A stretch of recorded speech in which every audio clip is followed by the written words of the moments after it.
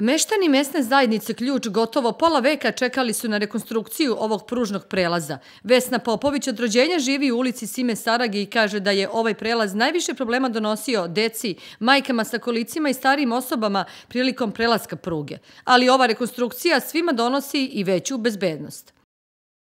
Još da imamo trotoar, bila bi još veća bezbednost. Jer sad je i to problem. Ovo svakako znači mnogo.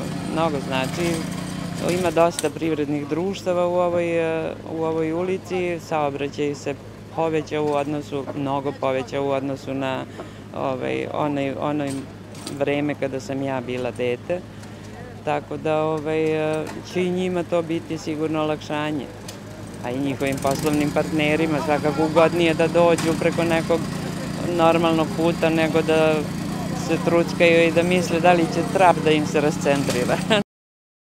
Ovo je saobraćajnica koja je najfrekventnija u gradu kada je u pitanju krštanje pruge i puta i često je koriste građani usled zagušenja u saobraćaju.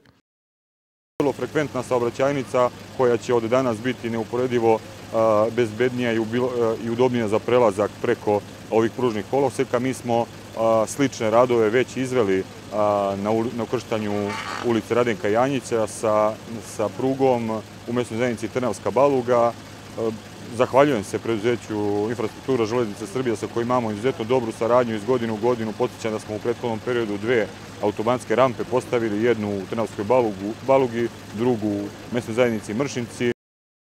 Uporedo sa ovim izvode se i radovi na izgradnji trotoara u zoni osnovne škole Sveti Sava preko puta crkve Svete Marine u Atenici. Izgradnjem ovog trotora pruža se veće bezbednost pešacima u saobraćaju, ali i učenicima ovdašnje škole. Vrednost radova iznosi milion dinara, a sredstva su obezbedili grad Čačak i infrastrukture železnice Srbije.